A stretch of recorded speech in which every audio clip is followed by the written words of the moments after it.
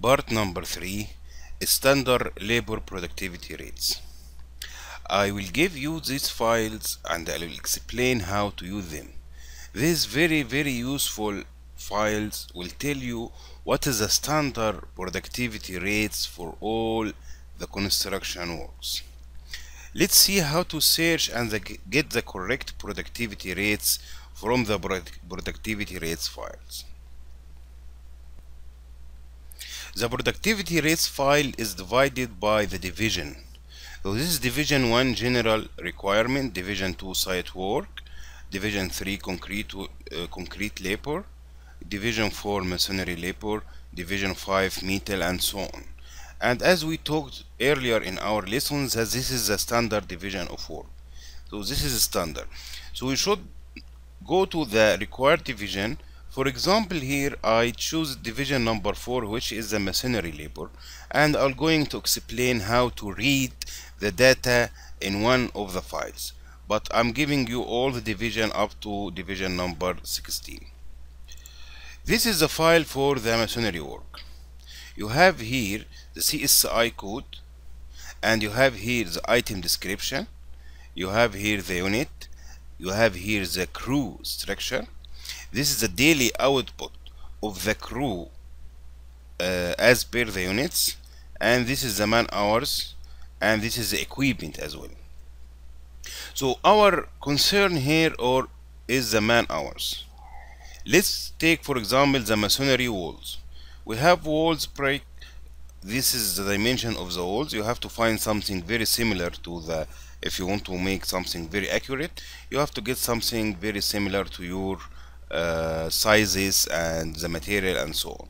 So this is walls and this is dimension. We have here this is the crew. This is the foreman which is supervision stuff this is equipment. This is the main manpower. So our crew contains of three let's say masons. They use here another word for masons but let's say mason. You have a crew of three mason and two helper will give you 3.9 square meter per hour. So in order to know what is the productivity for one mason just simply divide this number by 3 and then multiply it by how many hours your mason are going to work. 8 hours 10 hours whatever. This will give you the standard productivity for the mason then you have to do the same for the helper. Divide this quantity by 2 helper then multiply it by how many hours you will work. Let's see where to put this. The result of this cal simple calculation will be added here. The result of this calculation will be added here in the productivity per unit cell so you have to check the main you have the mason plaster tile mason painter carpenter steel fixer and so on. So simply here we have here our division of work. Let's say concreting. So this is a division number three. So you need to go to division number three and look for the plain concrete footing and find the proper productivity rate for this item and just put it here and uh, to the related uh, manpower. So this is one of the benefits why we use this division number. Your work standard it will be easy to uh, merge your work and with with other sheets and so on. So for example here we have wall 100 thick.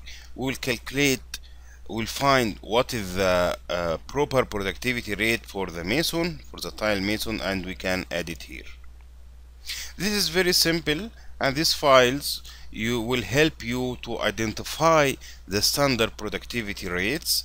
And uh, of course you can search the internet you can use your uh, local productivity rates or your company productivity rates because it is different from nationality to another nationality and depending on the work condition and so on. So this is how to use our sheet here again you can go to another item. This is concrete block including scaffolding for example. The unit here is square meter. This is the crew. So 4 will produce 1.3 square meter. And here the description of your activity simply divide this by the numbers of the skilled labor then multiply it by how many hours they are working then put the result here and that's it. Now let's go and see how to put this in Primavera